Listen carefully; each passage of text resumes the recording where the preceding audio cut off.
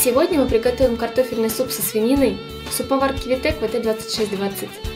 Нам потребуется 3 клубня картофеля, 1 луковица, половина моркови, 200 грамм отварного мяса, 1 чайная ложка сушеного укропа, 1 чайная ложка соли, 1 четвертая чайной ложки черного молотого перца и 800 мл воды. Сначала нужно мелко нарезать лук и морковь.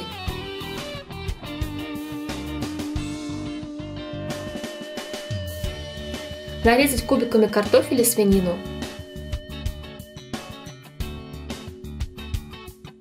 Поместить в чашу суповарки лук, морковь. Добавить свинину и картофель. Добавить сушеный укроп, посолить и поперчить. Залить суп водой, закрыть чашу крышкой, установить чашу на моторный блок и включить режим суп. Время приготовления составит 28 минут.